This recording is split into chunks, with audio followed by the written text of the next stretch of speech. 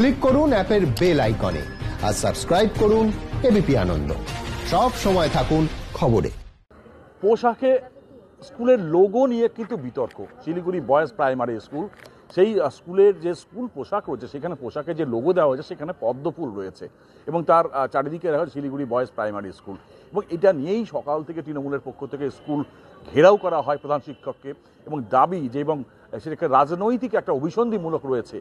এবং এইটা, এতেই কিন্তু তারপর ডিপিও সাহেব আসেন এই তদন্ত শুরু হয়েছে এবং তদন্ত পুলিশ আসে, পুলিশে এফআইআরও করা হয়। অর্থাৎ একটা পদ্মফুল ঘিরে কিন্তু মহা বিতর্ক এবং এইটা এইটা তৈরি করেছে সেলফ হেল্প গ্রুপ।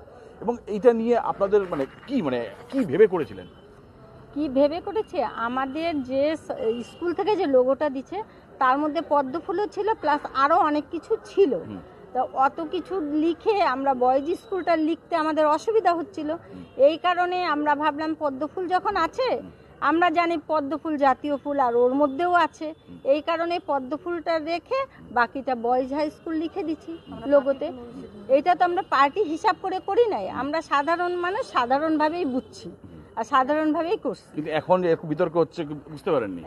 এত যে হবে এটা তো আমরা ভাবিই নাই। বুঝলে তো আমরা এটা করতামই না। খুলে দিব সেগুলা খুলে দিব। আর আমরা এখন ওইগুলো খুলে দেবো লোগোগুলো খুলে দেবো।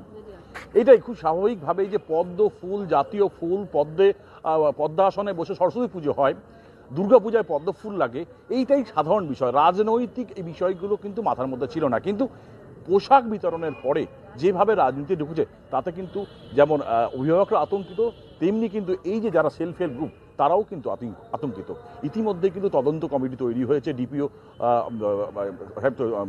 নেতৃত্বে এবং পুলিশে, এফআইআর হয়েছে, পুলিশে তদন্ত শুরু করেছে। ফলে তদন্তের মধ্যে পদ্ম ফুল মহা বিতর্ক তৈরি করেছে শিলিগুড়িতে। সনদ ঝা, এবিপি আনন্দ, শিলিগুড়ি।